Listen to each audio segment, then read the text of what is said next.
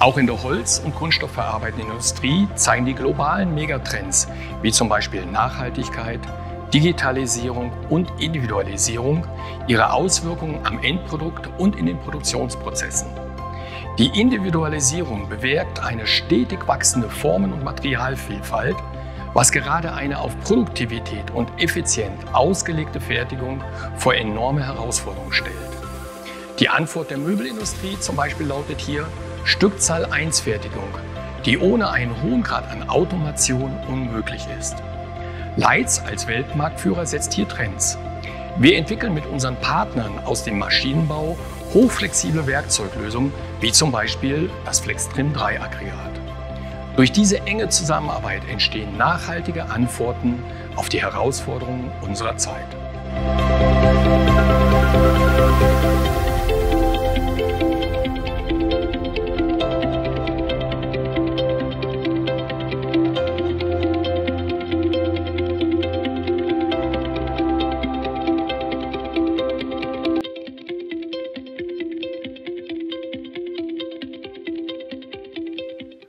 Möbel, insbesondere Küchenmöbel, gehören inzwischen zu Lifestyle-Produkten.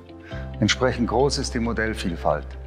Die Produktion erfolgt meist auftragsbezogen in einer Durchlauffertigung ohne Zwischenlager, direkt in die zur Auslieferung bereitstehenden LKWs. Losgröße 1 ist hier das Schlagwort.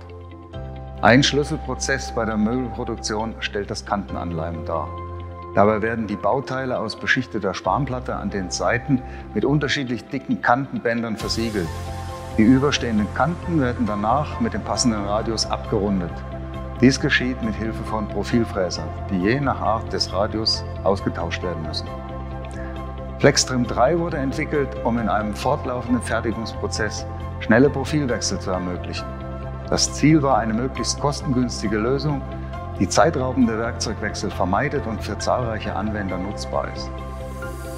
Inspiriert wurden wir dabei von dem Funktionsprinzip eines Kugelschreibers, bei dem durch einen einfachen Druckimpuls ein Schaltvorgang ausgelöst wird. FlexTrim 3 besteht aus einem festen und zwei verschiebbaren Werkzeugteilen, die unterschiedliche Bearbeitungsprofile tragen. Die Position der Profile wird durch eine Nockenscheibe bestimmt. Bei Druck auf eine speziell geformte Schaltkulisse wird diese Nockenscheibe schrittweise weitergedreht. So gelangt bei jedem Druck ein anderes Profil in Arbeitsposition. Nach dreimaligem Drücken ist das erste Profil wieder im Einsatz und so weiter. Der Schaltvorgang findet in der Regel zwischen zwei Fertigungslosen statt.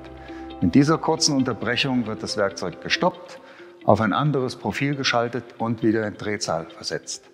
Der Fertigungsfluss wird dadurch nicht beeinträchtigt.